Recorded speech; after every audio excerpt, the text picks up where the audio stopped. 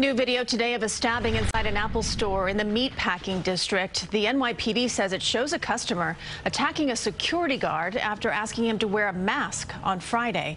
The suspect then left the store, but then later returns and hit a female employee. The guard stepped in, and after a struggle, he was stabbed three times in the back and arm and then slashed on the head with a knife.